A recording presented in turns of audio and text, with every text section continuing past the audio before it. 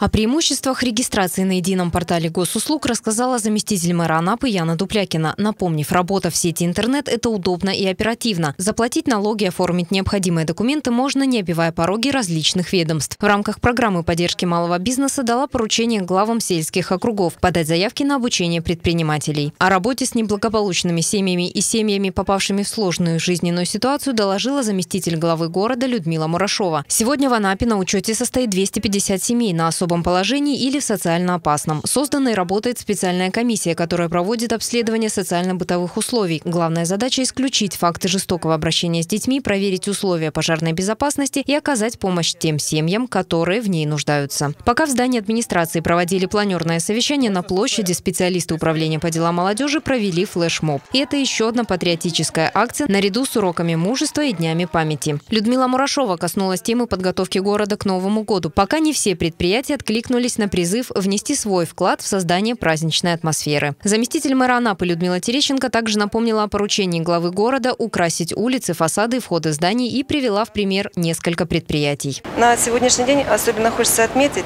предприятие водоканала, отель «Плаза» и отель «Эллада». Им хочется сказать огромное спасибо за такую подготовку.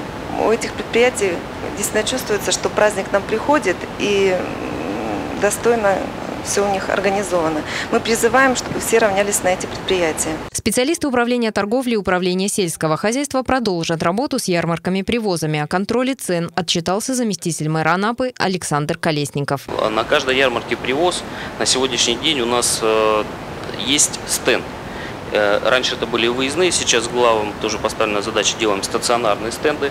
В общем, возле каждой ярмарки есть стенд с максимально рекомендованными ценами.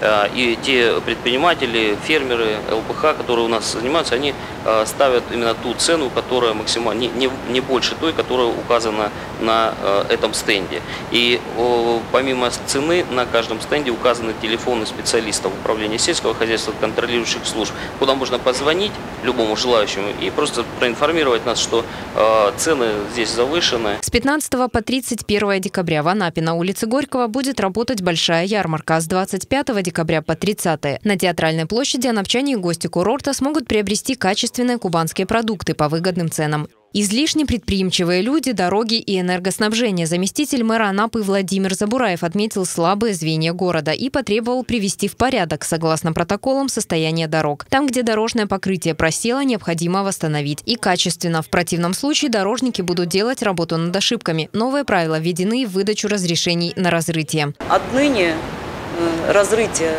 я предлагаю выдавать разрешение только при наличии договора на восстановление, но не того формального, который мы сегодня с утра обсуждали с Владимиром Ильичем. Не надо там три страницы. Достаточно одной, на которой будет написан конкретный срок восстановления, приложена смета, из которой мы видим, что именно будет восстановлено, то есть сумма, и, соответственно, гарантийные обязательства. Без этих документов ордера не подписывать. Все управления и структуры, за которыми закреплены у нас территории, предоставить ЖКХ до конца недели там, где некачественно исполнено восстановление, где просел асфальт. Поднимаете ордера, приглашаем предпринимателей,